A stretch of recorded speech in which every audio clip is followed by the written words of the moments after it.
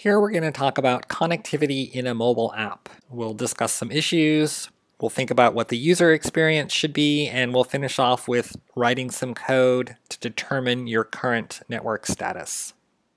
In, in a mobile app, you're going to encounter more than one type of network. The main ones, of course, would be cellular, either home network or roaming, and Wi-Fi. And the big issue, of course, with a mobile app is that you might not always have a network available. It could be that there's some physical barrier to the signal, or it could be that the user has disabled the data connection, either by turning off data roaming or putting the device in flight mode. So it's probably a good idea before you begin an operation to test for connectivity and let the user know if there's a problem testing before you start isn't enough because you could lose connectivity in the middle of an operation. So you probably want to monitor your connection status and let the user know if something goes wrong. Bandwidth can also be an issue. It varies depending on the type of network you're talking to. If you want to be clever, you could figure out the network type and use that to estimate the time each operation is going to take and keep the user informed.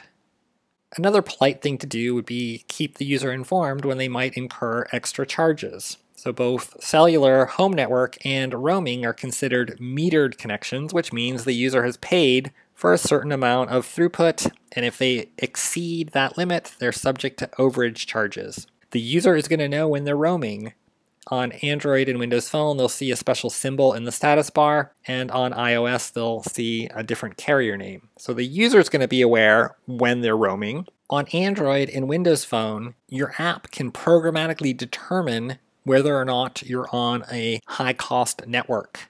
Currently, you can't do that on iOS. That means that when you are on Android or Windows Phone, you can determine that you're on a high cost network and ask the user for consent before you begin a networking operation. That way, if they do go over their limits, they won't be surprised by the overage charge.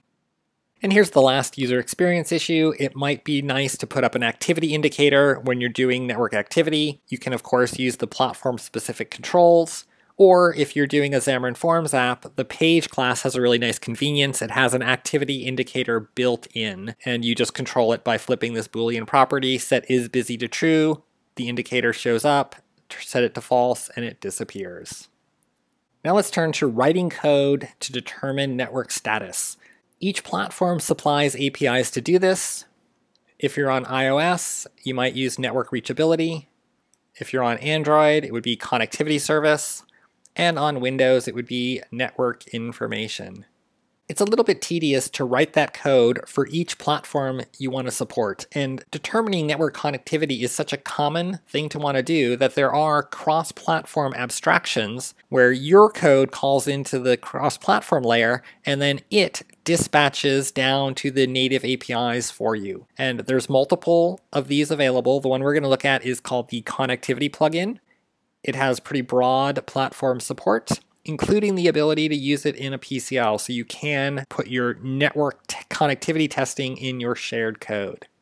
It supports all the major operations we were just talking about, test for connectivity, note, be notified when uh, connectivity changes, determine all the available connections, and so on. Let's just look at those first three operations. Everything you do with the connectivity plugin starts here, so it uses a singleton pattern, so you're always going to be working off current to test connectivity, you just look at that property. If you want to be notified when connectivity changes, you subscribe to that event. And in your handler, you just look at the is connected property. And finally, to look at all available connections, you go to the connection types property, and then you can just enumerate through all available connections and look at what each one of them gives you.